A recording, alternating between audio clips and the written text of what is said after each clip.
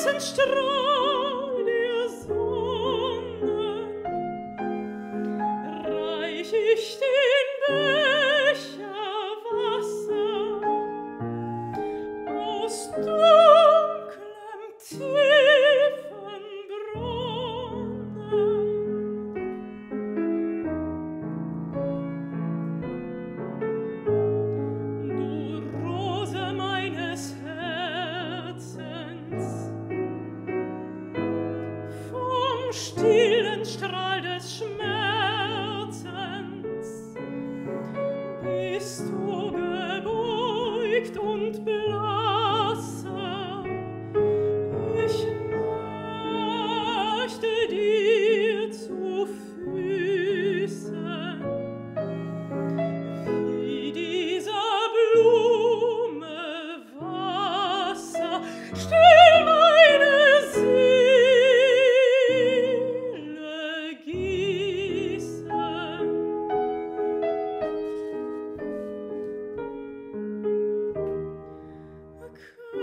nüchtern auch, nicht